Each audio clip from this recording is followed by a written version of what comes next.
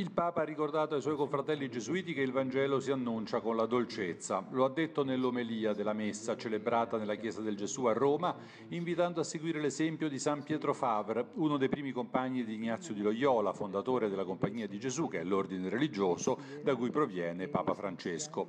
Pietro Favre, ha detto il Papa, aveva il vero e profondo desiderio di essere dilatato in Dio, era completamente centrato in Dio e per questo poteva andare in spirito di obbedienza, spesso anche a piedi, dovunque per l'Europa, a dialogare con tutti e ad annunciare il Vangelo. Ma il Vangelo si annuncia con dolcezza, con fraternità, con amore, non in modo violento.